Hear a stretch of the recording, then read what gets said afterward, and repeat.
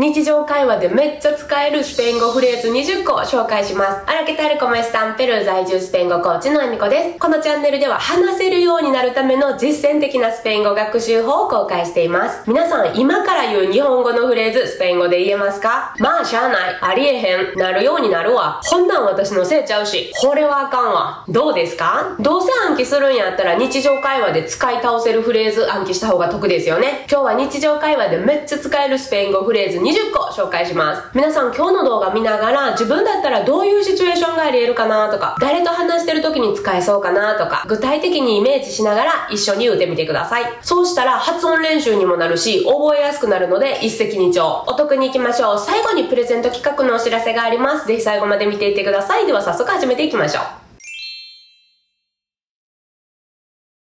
ええよ。めパレセビエン。めパレセビエン。ええよとか、問題ないよっていう感じです。これは南米に住んでいる人やったらよう聞くフレーズと思います。めパレセビエン。明日2時集合でどう？めパレセビエン。次のプロジェクトこのテーマでいく？ Me parece bien。いろんな形容詞後ろにつけることができます。 Me parece muy bien。 Me parece excelente。もしくは me parece extraño。なんか変やなっていうこともできます。英語の sounds 形容詞と that looks 形容詞の間みたいな表現です。です。物理的に見えてなくても使えるめっちゃ便利なフレーズです。続いては、どう思う？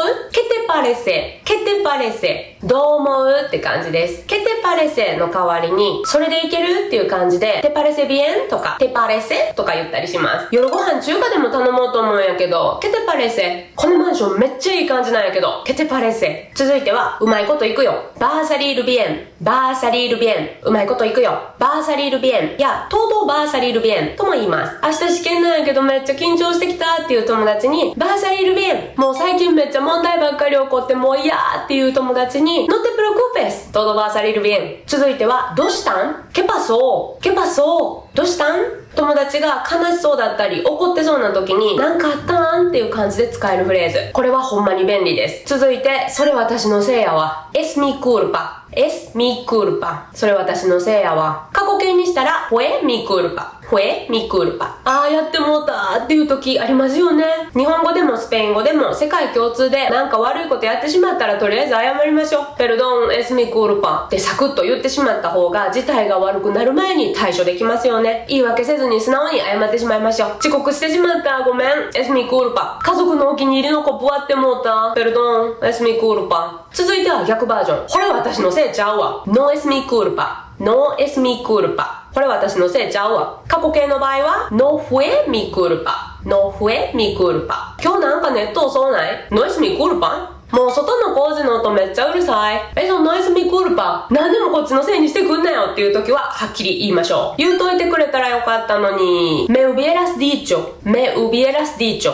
言っといてくれたらよかったのに。そんなん言っといてくれたら対処できたのにとか、なんで先に言っといてくれんのっていう時ありますよね。もうそんなこと今更言うてもしょうがないとは思いつつ一言言いたい時に使えます。朝起きてお弁当を作ってる時に旦那さんが起きてきて、あ、今日お弁当いらんよって言われた。me hubieras dicho. 打ち合わせ時間になってから1時間遅れますっていうメールが届いた。Me hubieras dicho. 続いては、ほんまに？デベルダデベルダほんまに？これはね、言い方によっていろんな文脈で使えます。ハッピーバージョンは友達から来月結婚するんよっていう報告を受けて、デベルダいやーほんまにっていうテンションです。いつもゴミ捨てを忘れる旦那さんが、明日は絶対捨てるからって言ってきた時に、デベルダほんまにっていう嫌味な感じで。皆さん感情大事です。感情を交えながら声に出すことで脳に定着しやすくなります。ぜひ具体的な場面イメージしながら使ってくださいね。デベルダとよく似たエンセリオもよく使うのでぜひセットで覚えていきましょう。続いては、嘘やろ？乗ってくれよ。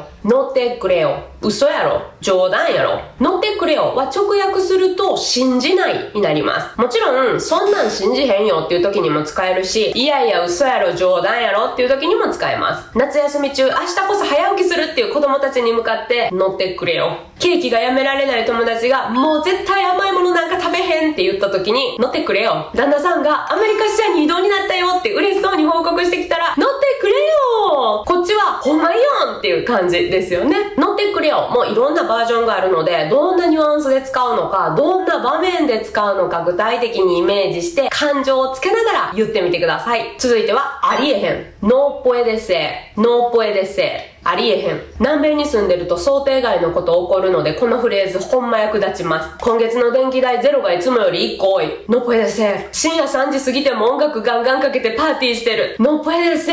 No puede ser. ありえへんの反対は puede ser です。ありやなっていう感じ。明日の仕事の帰り、このお店一緒に行けるかなって聞いてきた友達に対して、puede ser? どない説明しようか。Como te explico? Como te explico? どない説明しようか。日本の文化について質問された時、どう説明したらわかるかななんて言ったらいいかなって考える時ありますよね。説明の仕方を考えてる時の時間稼ぎや説明の前置きに使えます。 Cómo te explico って言いつつ次の文につなげていきます。続いては、そうやな。 Es justo。Es justo。そうやな。 Justo は直訳すると、公正な、公平なっていう意味です。日本語的に言うと、うん、そうやなとか、うん、いいことわかるよっていう共感する感じで使います。例えば、私今日料理するから、あんたがお皿洗ってなっていうことに対して、 es justo。昨日私残業したから今日あんた残ってくれるっていう同僚に対して、 es justo。次は逆で、それはあかんわ。 No es justo。No es justo。それはあかんわとか、それはちゃうやろっていう意味です。課長なんで私ばっかりに仕事振ってくるんよ。 No es justo。あの子入社試験受けずにコネ入社したらしいよ。 No es justo。普通はそんなん言わんよ。 Eso no se dice。 Eso no se dice 普通はそんなん言わへんよとか、そんなん言ったらあかんよっていう感じです。いやいや、このシチュエーションで普通そんなこと言わんよっていう人いますよね。eso no se dice を eso no se hace にすると、普通そんなことせんよっていう意味になります。なあなあ、あの子最近めっちゃ太ってないとか平気で言う友達がいたら、eso no se dice おごってもらったくせに文句言う友達に向かっても、 eso no se dice 続いては、そんなみんな知っとうよ。todo el mundo sabe eso todo el mundo sabe eso そんなみんな知っとうよ。スペイン語らしいフレーズ、todo el mundo 世界中がっていう意味です。todo el mundo sabe eso は直訳すると、世界中が知っているですけど、日常会話ではみんな知っとうよくらいのカジュアルなニュアンスで使います。なあなあ、部長とマリアって不倫してんの？todo el mundo sabe eso 続いては、しゃあないな。ニーモード、ニーモード。しゃあないな。仕方ない。どうしようもない。日本語では仕方ないよってよく言いますよね。スペイン語ではニーモード。今日ビーチ行こうと思っとったのにめっちゃ雨。ニーモード。スタバで仕事しようと思ったのに人いっぱいで座れんかった。ニーモード。あ、それもういい。じゃフエ。じゃフエ。もういいとか、もうやめたっていう意味です。ジャフエも日常会話でめっちゃ使います。そういや、ウクレレの練習ってまだしよん？ジャフエアイス食べたいって言ったけど今買いに行く？ジャフエわがまま感満載ですけど、もういいっていうような感じで使えます。実はな、ロケパサエスケ？ロケパサエスケ？実はなーとか、なんかなーっていう意味です。これはね、前置きとして使われる表現です。あれ？なんかモニカ元気ないんやけどどうしたん？って友達から聞かれて、ロケパサエスケ？って言いながら話し始めます。日本語で言ったら、なんかなーとか、あのなーっていう感じ。なんかなー旦那さんとうまくいってないんやってーって、日本語でもなんかつけますよね。それと同じです。めっちゃナチュラルな感じになるのでおすすめです。続いては、何のこと？開けてレフィエレス。開けてレフィエレス何のこと？英語で言うと What do you mean? です。ちなみに、ケシグニフィーカーは単語の意味がわからないとき。アケテレフィエレスは言葉の意味は分かった上で、何のこと？とか、どういう意味で言ってんの？っていうのを聞きたいときに使います。例えば初対面の人にどこで仕事してるんですかって聞かれて、会社名なのか、職場の住所を聞かれてるのかわからんとき、いまいち質問の意図がわからないときに、アケテレフィエレスって言うとスマートです。続いては、なるようになるわ。Dejemos que todo fluya. Dejemos que todo fluya. なるようになるわ。とか、まあ流れに任せようか。っていう感じです。ペルー人はよく使うこのフレーズ。物事をコントロールしようとして力が入ってしまってる時にはぜひ使ってみてください。Dejemos que todo fluya. この todo fluya シリーズ結構バリエーションがあるんですけど、私が好きなのは、Deja que la conversación fluya. Deja que la conversación fluya. 話の流れに任せとき。会話は自然な流れに任せといたらええっていうリラックスした雰囲気伝わりますよね。フレーズ20、頑張ってな。はい、最後にふさわしいフレーズです。mucha suerte, mucha suerte. 頑張ってな。mucha suerte, en の後ろに試験とかプレゼンとかっていう単語を置ければ完璧です。なんて言えばいいかわからないときは mucha suerte だけで OK です。頑張ってなっていうメッセージちゃんと伝わります。mucha suerte en tu examen, mucha suerte en tu entrevista. 面接頑張って。mucha suerte en tu negocio, ビジネス頑張って。